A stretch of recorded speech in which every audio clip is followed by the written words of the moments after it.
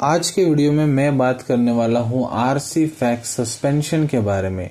तो RC fax suspension आप इसको रिफैक्सिमिन ओरल सस्पेंशन भी बोल सकते हैं। तो आरसी फैक्स सस्पेंशन क्या है? इसके मेन कंटेंट क्या होता है? कौन कौन सी समस्याओं को ठीक करने के लिए आपके डॉक्टर आपको लिख के देते हैं। इसका डोसेज क्या होता है? कब तक आप इसको यूज़ कर सकते हैं? ये जो सिरप है, आपके शरीर में किस तरीके से काम करता है? इसको उपयोग करने से क्या क्या साइड इफ़ेक्ट हो सकते हैं? किन लोगों को इसका इस्तेमाल नहीं करना चाहिए? इसके सब्सटीट्यूट क्या क्या है? मूल्य कितना है? कहाँ से आप इसको खरीद सकते हैं। पूरी जानकारी आपको मैं इस वीडियो में देने वाला हूँ। वीडियो को शुरू से लेकर अंत तक ज़रूर देखें। नमस्कार दोस्तों, आप देख रहे हैं YouTube channel Venkatesh H Pujar. मैं हूँ डॉक्टर वेंकटेश एच पुजार। आइए आज की चर्चा को शुरू करते हैं। तो देखें आर सी फैक्स सस्पेंशन जो है, यह एक एलोपैथिक सस्पेंशन या फिर सिरप है और यह एक एंटीबायोटिक मेडिसिन है जो कि इस्तेमाल की जाती है यदि आपको किसी भी तरीके का बैक्टीरियल इन्फेक्शन हो गया है तो उसको ठीक करने के लिए इसका इस्तेमाल किया जाता है। आर सी सस्पेंशन जो है, यदि इसके कंटेंट की बात करें तो देखिए, इसके अंदर रहता है रिफेक्सिमिन 100 एम रहता है प्रति 5 एम के सिरप में। और रिफेक्सिमिन जो है बिलोंग करता है ग्रुप ऑफ़ मेडिसिन जिसको broad spectrum non absorb rifamycin antibiotic बोला जाता है। और इसको मैन्युफैक्चरिंग करने वाली कंपनी है ल्यूपिन लिमिटेड और इसको 30 डिग्री सेल्सियस के नीचे नीचे रखने को कहा जाता है। मतलब आप इसका इस्तेमाल करने के बाद फ्रिज में रख सकते हैं।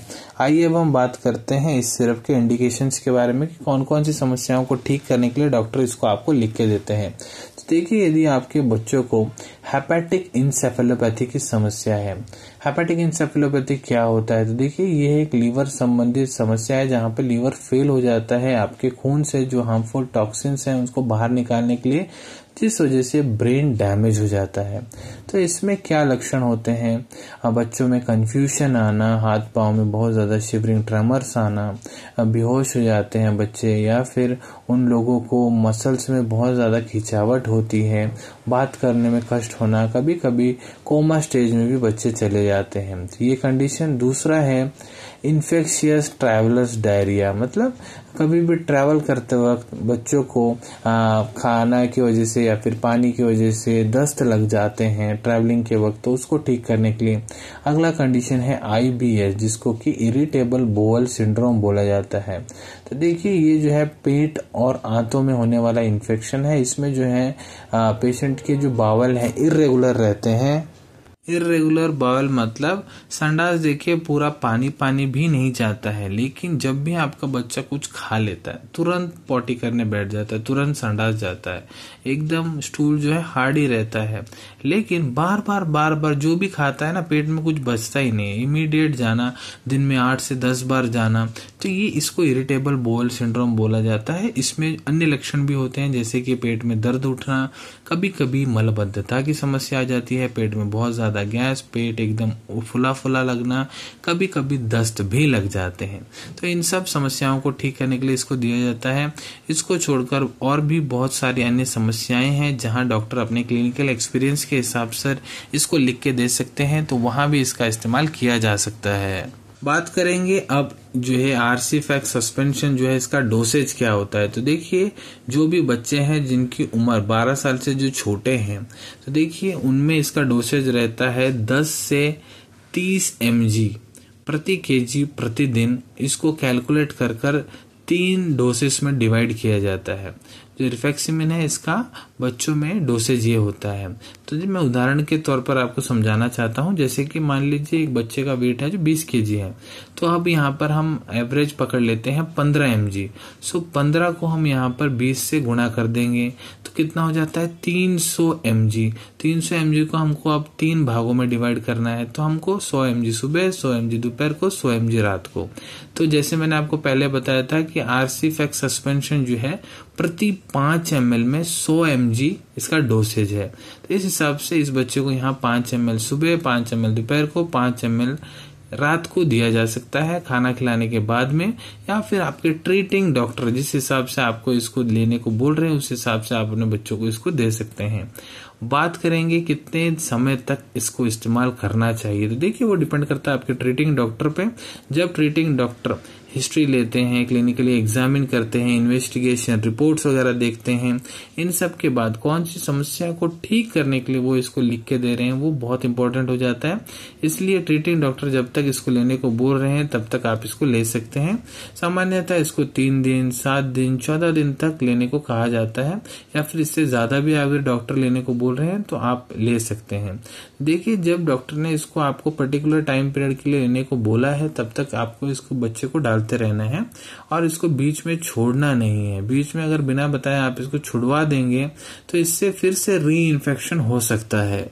और इस सिरप को जो है फिक्स टाइम पे ही देना है। जैसे जिस टाइम पे डॉक्टर ने देने को बोला, उसी टाइम पे देना है। और इसको देने से पहले जो इस सिरप का बॉटल है, उसको अच्छे से शेक कर कर हिलाकर देना है। अगर एक बार आप लोगों ने यदि ये सिरप का बोतल ओपन कर लिया है इस्तेमाल करने के लिए तो उसके बाद आप इसको इस्तेमाल कीजिए और फेंक दीजिए।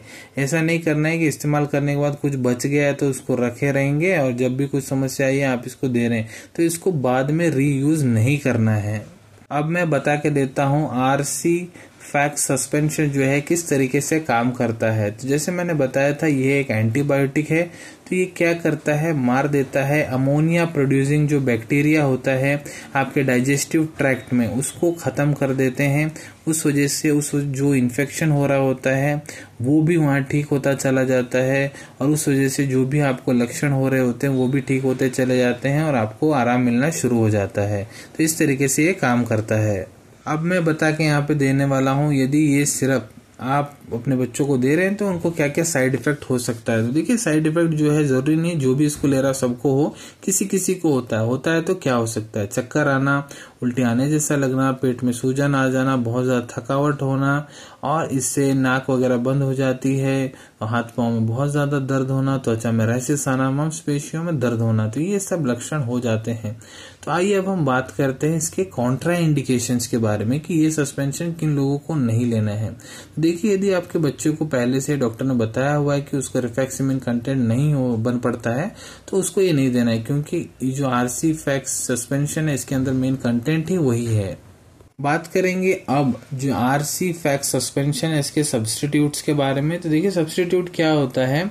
आर सी फैक्स सस्पेंशन जो है, ये एक ब्रांड का नाम है। इसके अंदर कंटेंट रिफेक्सिमिन रहता है। सो रिफेक्सिमिन कंटेंट वाले ही बहुत सारी कंपनी अपना सस्पेंशन बनाती हैं। कुछ अलग ब्रांड्स के बारे में मैं आपको बता देता हूँ। जैसे कि Refagut oral suspension mango Refaxy Max suspension Refenoc 100 M G oral suspension so इनके अंदर भी कंटेंट जो है रेफेक्सीमिन ही रहता है। इसका भी वर्किंग एक्शन वगैरह सब सेम रहता है। बात करेंगे अब इसके मूल्य के बारे में तो ये देखिए आपको दो सौ नौ रुपए टू हंड्रेड नाइन रुपीज़ में साठ एम का ओरल सस्पेंशन मिल जाता है। आरसी फैक्स का अब बात करेंगे इसके अवेलेबिलिटी के बारे में। तो देखिए, यदि आपके पास डॉक्टर द्वारा लिखा गया प्रिस्क्रिप्शन है, आप इसको आपके नजदीकी मेडिकल स्टोर या फिर किसी भी जनरल फार्मेसी से आसानी से खरीद सकते हैं। आशा करता हूँ वीडियो में दी गई जानकारी आप सभी को अच्छे समझ में आ गई होंगी। यदि आप आगे भी इसी तरह के मेडिसिन रिव्यूज़ देखना चाहते हैं तो चैनल को सब्सक्राइब करना न भूलें। जो बाजू में आपको लाल बटन दिख रहा है, उसको दबा दें, उससे हमारे आगे आने वाली सारी वीडियोज़ आप तक जल्द से जल्द पहुँच जाएँगी। यदि वीडियो आपको पसंद आया है तो लाइक का बटन दबाएँ और इस वीडियो को ज़्यादा से ज़्यादा अपने दोस्तों के साथ शेयर करें या फिर जिन लोगों को इस वीडियो की ज़रूरत है, उनके साथ आप इसको शेयर कर सकते हैं। वीडियो को देखने के बाद भी यदि आपके मन में कोई भी डाउट है, कमेंट सेक्शन में कमेंट करें, मैं उसका उत्तर देने का प्रयत्न करूँगा। जैसे कि मैं अपने हर वीडियो में बोलता हूँ, कोई भी मेडिसिन डॉक्टर के सुपरविजन में ही आपको लेनी है। कोई भी मेडिसिन डॉक्टर के कंसल्टेशन के बगैर आप लोग न लें। ये वीडियो इन्फॉर्मेशन के लिए बनाई गई है। मिलेंगे आप सभी से अगले वीडियो में कुछ नए विषय के साथ। टेल देन टेक केयर धन्यवाद।